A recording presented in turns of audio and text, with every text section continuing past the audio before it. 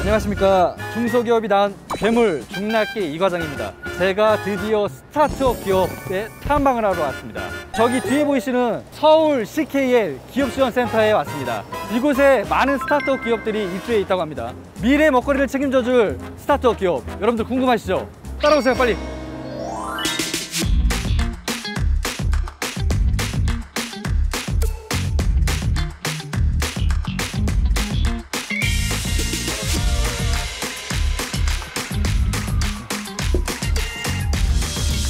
안녕하세요 들어가도 되나요? 어, 예, 들어오세요. 네.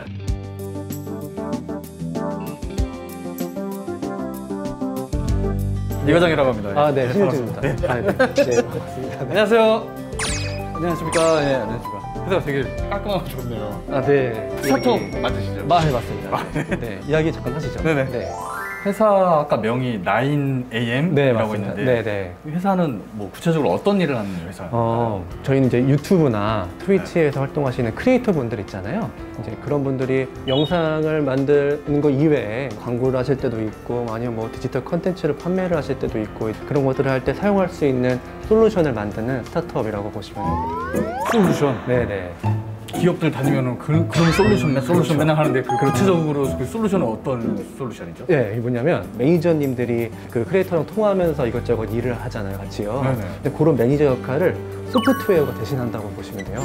그래서 저희가 이 소프트웨어를 만드는 거고, 저 그 소프트웨어가 저희가 운영하고 있는 이 크티라는 플랫폼. 네, 네. 저한테도 필요할 수도 있, 겠네요 그렇습니다. 네. 어떻게 이런 스타트업을 할 생각을 하셨나요? 공연 기획, 뭐 페스티벌 제작 이런 것들을 제가 프리랜서로 한 5년 정도 하다가 생태계가 좀 많이 변하고 있는 걸 많이 봤어요. 그래서 우리가 인력이 하는 것들을 좀 소프트웨어가 대신할 수 있게 해보자. 그래서 공동 창업을 해서 IT 솔루션을 만들어 보자. 라고 했던 게 처음 시작이었던 것 같아요. 와 그렇게 해서 지금 이렇게까지 회사를 키우셨네요. 스타트업 하면 우리가 열정 네. 막 이런 막 네. 패기 막 이런 거잖아요. 네, 네. 열정과 패기들이 느껴지는 것 같아요. 아유, 다행이네요.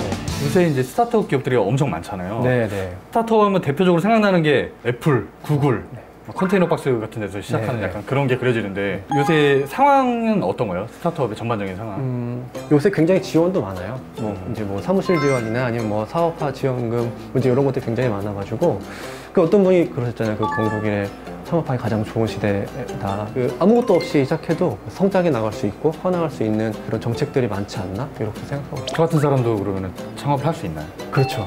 뭐 직원분들도 여기서 굳이 일할 필요 없고 저희 되니까. 직원분들요? 네. 한지 걸로 한지 스타트업.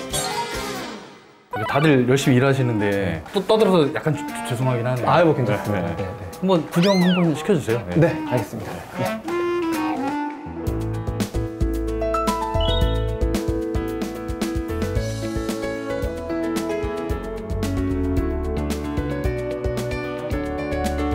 여기는 14층이고요. 스타트업들이 모여 있는 스타트업 단지. 되게 카페 같아요. 네, 엄청 좋네. 여기 인데 어떻게 들어오게 되셨어요? 아, 저희가 운영하는 서비스 자체가 이제 컨텐츠 관련된 서비스다 보니까 자연스럽게 컨텐츠 진흥원에서 하는 지원 사업에 대해서 알게 됐고 굉장히 저희는 지- 지원을 많이 했는데 초반에 좀 떨어졌어요. 아 떨어졌어요? 네, 그 정도로 경쟁률이 좀 센데 또 면접 볼 때 우리가 얼마나 이 공간을 활용해서 성장할 수 있을지 뭐 이런 포텐셜을 좀 잘 보여줘야 된다. 아.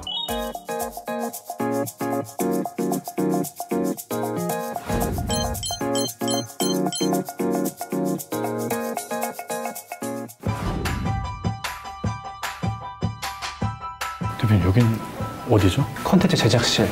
아. 보시면 돼요. 여기는 영상 편집하시는 분들이 사용할 수 있는 들, 들어가봐도 되나요? 네, 네. 어. 와. 어, 컴퓨터도 좋은 거네. 네, 일단 뭐 영상 편집하는데 컴퓨터 좀 좋아야 되잖아요. 잘 아시겠지만 저는 핸드폰으로.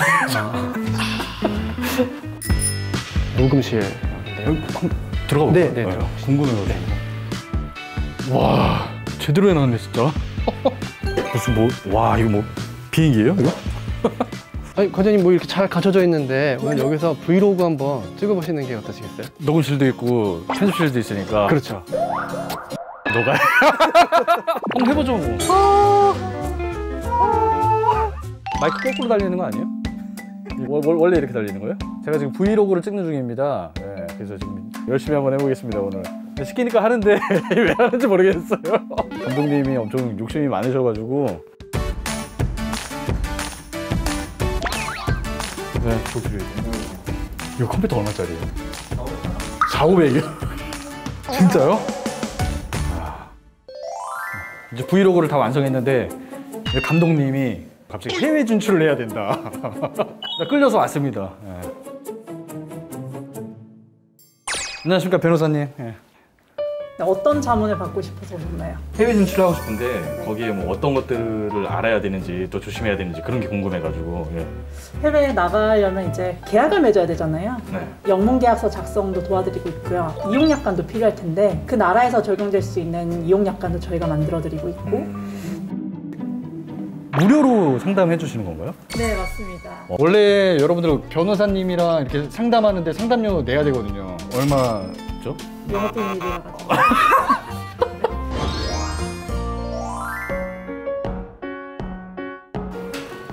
스타트업에 대해서 많이 알아봤는데 아 뭐 좀 재밌는 거 없을까요?